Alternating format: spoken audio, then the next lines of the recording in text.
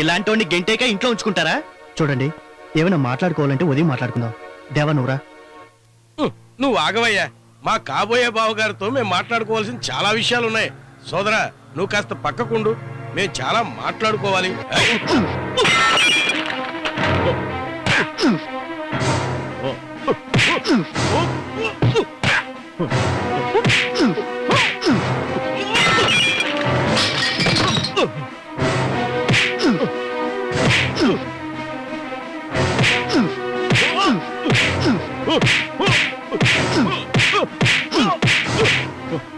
Hey!